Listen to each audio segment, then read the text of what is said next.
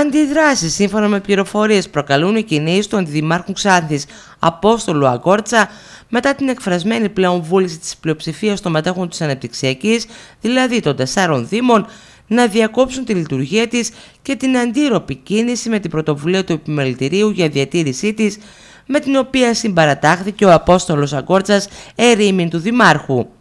Σε δήλωσή του στο τρίτο ραδιοφωνικό πρόγραμμα, ο Θανάης Ξινίδης διευκρίνησε το πρωί της Παρασκευής ότι από τις απόψεις που έχουν εκφράσει οι δήμοι μέτοχοι της αναπτυξιακής έχει γίνει σαφές ότι δεν επιθυμούν τη συνέχιση της λειτουργίας της.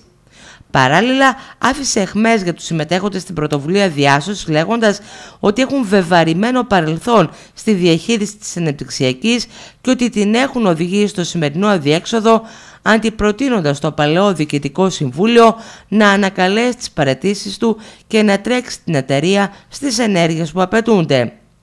Ερωτηθής για το ίδιο ζήτημα, ο πρώην πρόεδρος της εταιρείας, κύριος Γιάννης Τσαγγελίδη, σημείωσε ότι ο Στέλιος Μωρέιτης καλώς έδειξε το θέμα, αν και πρόωρα, σημειώνοντας ότι έπρεπε πρώτα να ενημερωθεί για τους λόγους που δεν διορίζεται προσωρινή διοίκηση ή κλείνει μια επιχείρηση χωρίς επίσημη ενημέρωση. Νομίζω ότι ο Στέλιος Μωρέιτης καλώς έθιξε το θέμα. Άσχετα αν κατά την απεινή μου αντίληψη ήταν λίγο πρόωρο. Έπρεπε πρώτα να ενημερωθεί το τι ακριβώς συμβαίνει, γιατί όλο αυτόν τον καιρό δεν διορίζουμε προσωρινή διοίκηση, γιατί ε, ουσιαστικά έχουμε κλείσει μια εταιρεία χωρίς καν να πούμε στους εργαζόμενους τον Βρεσίς κλείνει αυτό το μαγαζί, ήξερες σε πάση περιπτώσει κτλ. κτλ καταλαβαίνετε.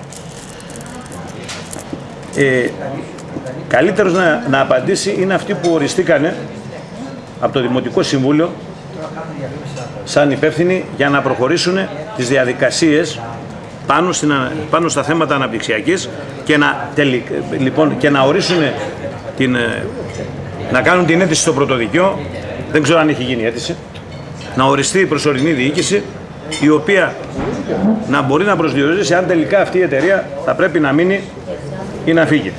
Ή, εν πάση περιπτώσει, κατά την ταπεινή μου άποψη, εάν υπάρχουν άλλες εταιρείες οι οποίες μπορεί να καλύψουν το συγκεκριμένο αντικείμενο. Νομίζω ότι είμαι σαφής.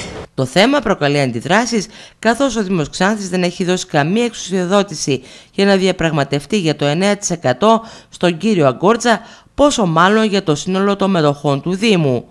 Οι παράγοντες του Δήμου δηλώνουν άγνοια και αντιδρούν έντονα, σημειώνοντας ότι δεν είναι δυνατόν να διορίζονται εκπρόσωποι του Δήμου Ξάνθης σε μια γενική συνέλευση και κάποιος από αυτούς να συμμετέχει σε συζητήσεις για διάφορες κινήσεις χωρίς την έγκριση του Δήμου και του Δημοτικού Συμβουλίου, πόσο μάλλον τον εκπροσωπεί.